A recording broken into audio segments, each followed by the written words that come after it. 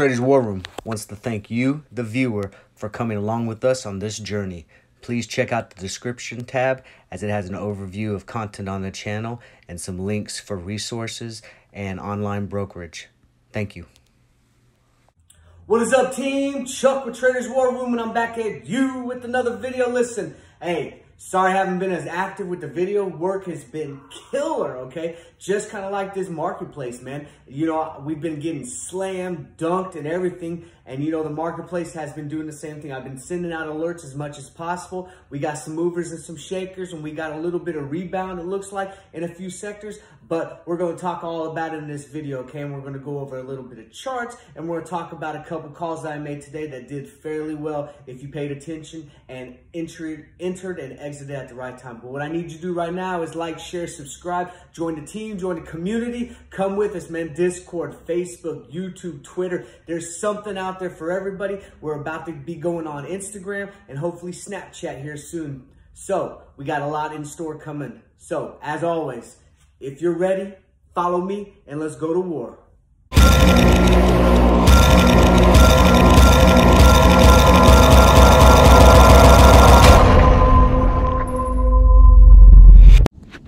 Traders War Room wants to remind you, the viewer, that this is for education and entertainment purposes. You are responsible for every move and decision you make within the stock market. Tread cautiously and be careful, but have fun and go to war. Hey team, welcome back. Listen, before we get started, as always, I gotta give a shout out to all the team members out there, okay? You guys truly make this group and the community that we have what it is, all right? Without you guys, we wouldn't be trying as hard to push out great content, all right? You'll notice that a lot of my alerts have kind of slowed down a little bit, okay? Listen, I promised you guys that I'm only going to send out A-plus alerts if I see really good conviction in the stock, okay? Because the stock is so choppy right now, we don't want to navigate crazy waters, all right? So, and on that note, be very cautious when you're starting to get into your plays, okay? I need to reiterate this, and I've said this before, but entry and exit is key in this market. And I want to promise you that if you learn to navigate this market the way it is right now, with it being so volatile and up and down and everything, you'll be able to be just a killer, that much more successful when the market comes back and it heats back up and we're on our next bull run. So remember that. But right now, hey, let's get with it with the buzz report, see what's hot and what's not in the stock market. Let's go. Here's your markets. As you see, red across the board. Nothing new, right? Your most active, your top gainers, and your top losers. We're going to talk about OCGN and a couple other ones. But I want you to see some of the activity. Notice that Skillz and NIO are back in the mix, okay? So we got to keep watching some of these ones that have been beat up for a while and see how they rebound here in the near future, if they rebound. Boom, I don't see no green, so everything was red. Minerals took the biggest hit, and right above them was energy and information tech. So pretty much all the stuff that a lot of us retail investors are in currently or have been in for a while and been taking a hit, all took hits again. So, so hopefully we'll get a rebound so we can get back some of our positions tomorrow or next week, but we got to keep watching. It'll rebound eventually, I promise you. So futures are all green, but remember, futures give us a glimpse into the possibility of what will happen tomorrow at market open, but definitely futures have not held up the way they've portrayed themselves, so do not put too much stake into these because the market is still extremely volatile and will do what it does, okay? So, need to keep a good watch, but optimistic viewpoint as of now in the market at opening bell. And something for you to ponder, okay? So, renewable energies and those clean energy stocks, they've been taking a dump and they've been taking a hit. But I want you guys to stay positive on them and have a forward thinking attitude when you're getting into these stocks. Listen, this is going to happen. There's going to be a lot of administration pushes for this, all right? And it's the climate pollution wants to be cut in half by 2030. So who knows the true way of the, how this is going to happen, but definitely there's going to be some movers and there's going to be some winners and losers in the stock. So make sure that you're paying attention to these clean renewable energy stocks. Get in with the good ones. Get in now while they're low. And I would suggest I would suggest if you're going to do call options, do some leaps so that you go further out or buy some shares you know try to get 100 200 shares and hold them for a long hold and just kind of put your feet up and just take a chill pill and relax okay these will start to be making money here in the near future towards the next fiscal year and I want to provide you with some stocks that you can pause, take a look, and do some research, do some DD on your own with some of the renewable energy stocks. So pause these, take a look at some that strike your price range, you know, maybe a stock that you haven't researched before, and, you know, find a new, possibly diamond in the rough. Some more stocks. I want to bring your attention to a couple that have been trending, and you should keep your finger on these ones and put these in your watch list. Run, all right. Sunworks is another one. FuelCell is another one.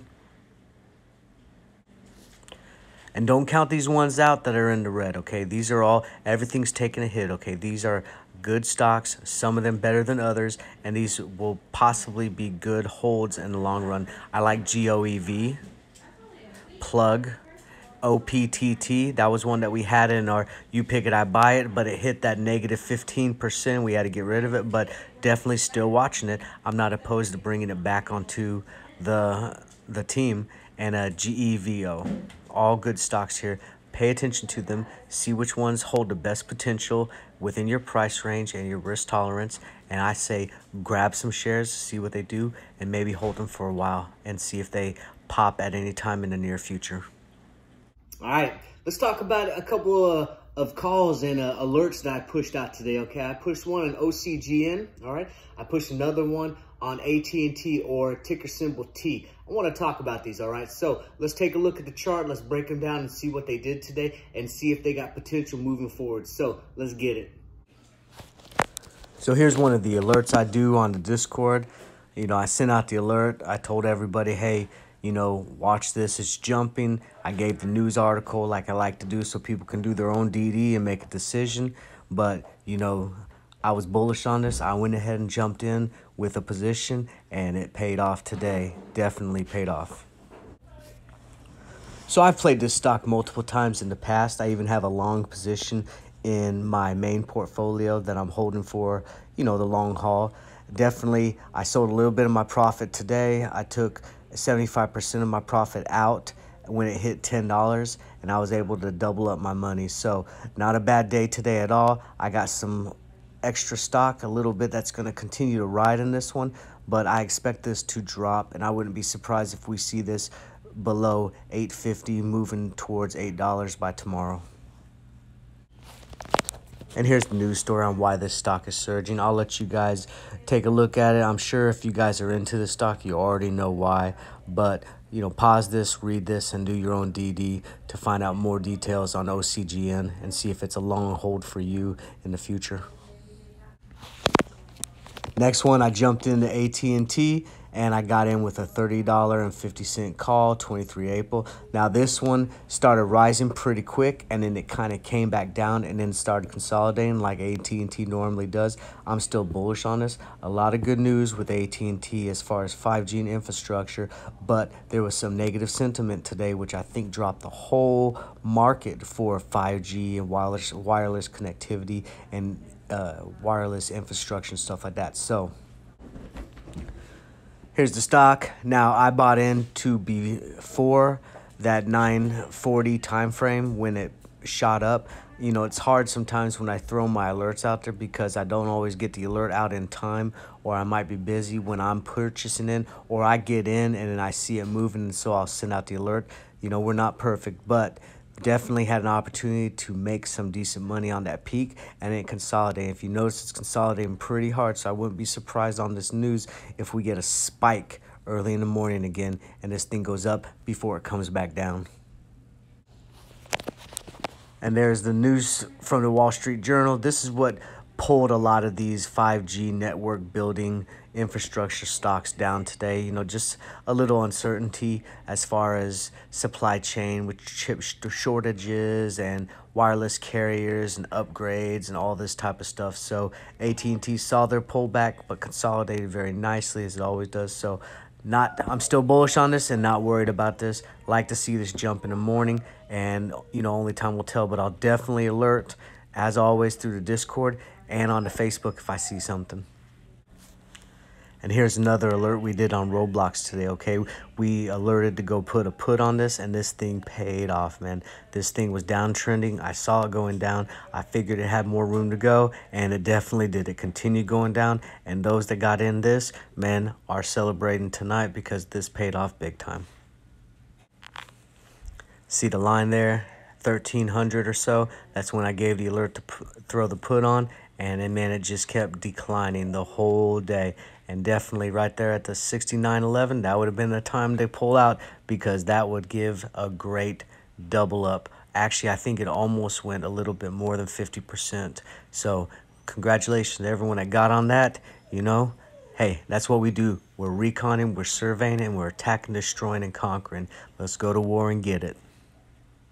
All right, up next, one of my favorite segments where I get to try to communicate and push a little of my knowledge out there to the community and try to kind of barneyfy and simplify questions that you may have, all right? I call it questions from the front line. You guys are the frontline troops. I'm back here, sitting back, kind of surveying and reconning the area for you guys. So I'm gonna try to answer these questions. So let's get with our first question.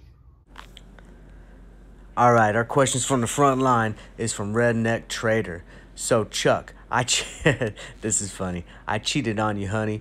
I should have used your plays and got ran for naught. I'm ready to go back to war and quit these, you know what, bar fights where I'm too drunk to stand. Hey, Redneck Trader, listen.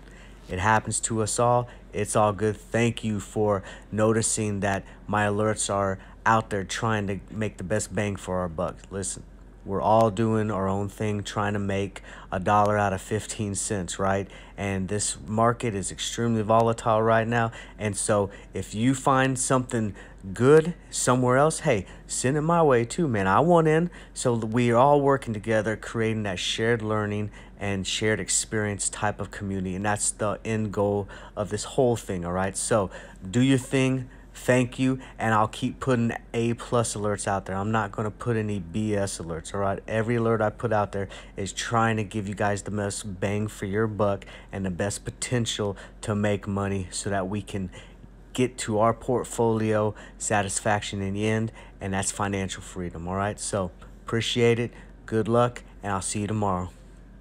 All right hey video's a wrap. Listen i want to reiterate again we need to be patient in this market, okay? Do not get bored trading, all right? And what I mean by bored trading is you're used to these, you know, 20, 30, 40, 50%, you know, gains, you know, maybe even 100% gains. And so you're not seeing that type of action, that price action, okay? And so you're just hopping into anything that fluctuates, all right? Look, the stock market is tricky, okay? There's going to be a lot of dead cat bounces. We talked about it. There's going to be a lot of falling knives currently, and you're going to see a lot of pump and dumps, okay? These institutional buyers, they know that we're bored out there and we're not seeing the market move. So anytime something starts shooting up, people are jumping in, and uh, then all of a sudden it just tanks. And they're sitting there like, oh my God, I just hopped in at like $10 high and this thing's $6 and now you're carrying that gap of $4 per share, okay? So don't be that one, all right? Make sure you got great setups, okay?